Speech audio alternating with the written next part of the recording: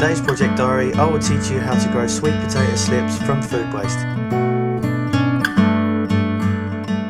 Hi and welcome to Project Diaries. Today I'm going to try something a little bit different. I'm going to grow some sweet potato slips. Now growing sweet potatoes isn't the same as growing normal potatoes. You can't just chit them and put them in the ground. You actually have to grow a slip. Um, and it's not easy. Uh, I've seen other videos online um, of people trying to do this with the whole potato so I'm going to try this with uh, some food scraps. And here's how to do it. So I'm not going to waste the whole potato. Instead I'm going to cut a few inches off the top and bottom and use the rest of it later on in tonight's dinner. Now sweet potatoes aren't a real potato at all. They don't belong to the same nightshade family as other potatoes. Instead they belong to the morning glory family, which means they need lots of heat and good sunlight. Now sweet potatoes are really popular in Central and South America, also the Caribbean, they can also be called yams and kumara.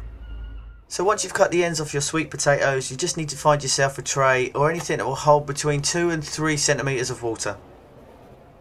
Then all you need to do is place each section of the sweet potato on the tray and add water until it's about a quarter of the way up of each piece. Now as I said before, these can be really difficult to grow, but as long as you've got the right conditions it should be easy. Just make sure these are placed somewhere with lots of sunlight and really warm. Ideally, you're looking for temperatures above 20 degrees Celsius or 70 degrees Fahrenheit throughout this growing period. Now, as long as you've got the right conditions, you should see these start sprouting in less than a week. You may also see some small roots trying to emerge. Here they are again two weeks later. Again at three weeks. And here they are again four weeks in. Now here they are five weeks later. Now you can see one is growing a lot quicker than the other, but don't worry about this at all. Here they are again at six weeks. Now around the seven week mark, I have noticed that the leaves are starting to go a bit yellow. This is down to not getting enough sunlight.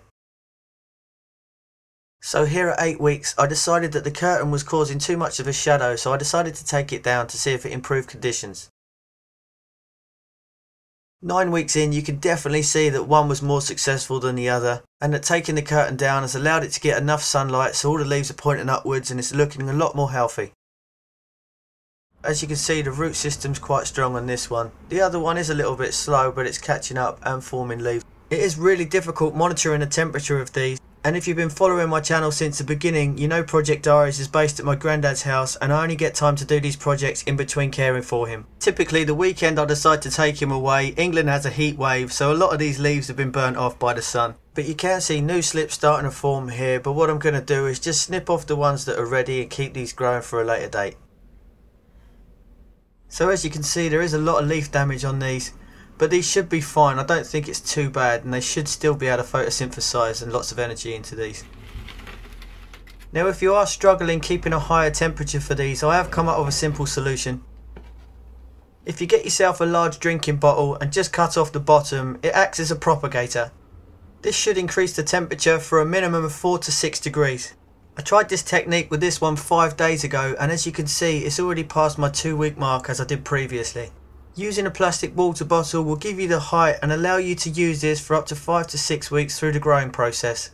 As soon as the slips start touching the top of the bottle, just remove it, but make sure you keep the slips in a nice well lit warm area. Now we haven't got the right temperatures outside yet, so get yourself a plastic cup. Now what I'm going to do is just trim off these slips and try to grow a root system. Now I can treat these slips like a normal cutting and grow roots out of them. So all I need is a few inches of water in the cup this will also delay the slips going into the ground which is perfect because it could be up to 3 or 4 weeks before we start getting decent summer temperatures.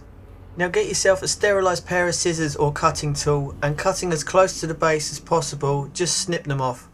Now ideally you want each slip to be at least 12 to 15 inches long before you cut it. Then just place the tip in the water. This will help it survive over the next month or so and it will also start growing roots. Now I'm just going to top this water up. Now keep an eye on this over the next couple of weeks. If the water level goes down, just add some more. Also, much like growing avocado seeds, if you let algae grow on the inside, it will kill this slip. So change the water regularly if it starts going green. Now all the nodules on this slip will start growing some roots, but as they're not ready to go in the ground yet, I will do a follow-up video later on in the year when I can plant these. But in the meantime, I really hope this video has inspired you and given you the confidence to try this at home. If you like this video, don't forget to give it a thumbs up and if you have any questions, please leave them in the comment section below. Good luck growing your own and if you'd like to keep up to date on all of my future videos, don't forget to subscribe now. Here are some links to some of my other videos and if you've tried this or any of my other projects, I'd love to see your progress, so please post some photos on my Facebook gardening group. Links to all of my social media pages are in the description box below. Thanks for watching and I'll see you again next time.